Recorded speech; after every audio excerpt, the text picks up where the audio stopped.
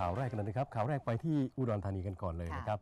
แม่ทัพภาคที่สองก็ได้นำคณะนะครับ ไปตรวจติดตามความคืบหน้าในการแก้ไขปัญหาคำชะโนดนะครับ อืมถึงตอนนี้นะคะทุกคนเนี่ยหลั่งไหลอะไรก็ว่างปั๊บครับ อยากไปคำชะโนดกันนะคะ ที่อาคารปเนกประสงค์วังนาคินคำชะโนด ที่จังหวัดอุดรธานีนะคะพลโทวิชัยแชร์จอหอ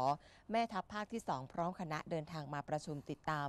ความคืบหน้าในการจัดระเบียบคำชะโนด ซึ่งมีผู้แทนจากหน่วยงานที่เกี่ยวข้อง กรรมการบริหารคำชะโนด ผู้ดูแลที่พักสงฆ์ผู้ประกอบการค้า เข้าร่วมประชุมมากกว่า 300 คนทีเดียวค่ะ ครับแม่ทัพภาคที่สองครับ ท่านก็กล่าวว่าการลงพื้นที่ในครั้งนี้เนี่ยก็เป็นการ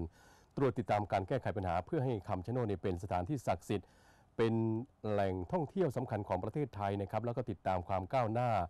การแก้ไขปัญหา หลังจากเมื่อวันที่ 17 มีนาคมที่ผ่านมาลงพื้นที่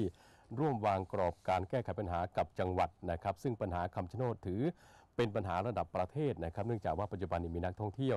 เดินทางมาสักการะเจ้าปู่ศรีสุโธแห่งคำชะโนดนะครับ เพิ่มมากขึ้นทุกวัน และไม่ปฏิบัติตามกฎนะครับ ก็ทำให้เกิดปัญหาความไม่เป็นระเบียบเรียบร้อย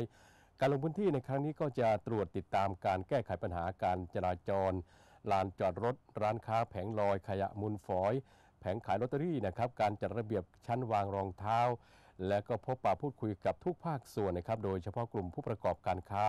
ในคำชะโนดนะครับ เพื่อรับฟังปัญหาความคิดเห็นรวมถึงข้อเสนอแนะ เพื่อนำมากำหนดเป็นระเบียบข้อบังคับ ในการแก้ไขปัญหาอย่างเป็นระบบทางนี้การจากการลงพื้นที่ ผลการดำเนินงานเป็นที่น่าพอใจ ประชาชนในพื้นที่นะครับให้ความร่วมมือเป็นอย่างดี หากแต่ยังมีบางส่วนนะครับที่อยู่ระหว่างการดำเนินการแก้ไขกันอยู่นะครับแน่นอนเป็นปัญหาระดับประเทศาร์อาทิตย์นี่ไม่มีที่จอดรถเลยนะ ไม่ใช่วันธรรมดาเถอะ วันธรรมดาเรานึกว่ามีงานที่บอกว่าวันนี้คนน้อยแล้วนะคะ ครับ อีกอย่างหนึ่งเรื่องของขยะเวลาที่จะไปไหว้เจ้าปู่ศรีสุโธเขาบอกว่าอยากให้เอ่อ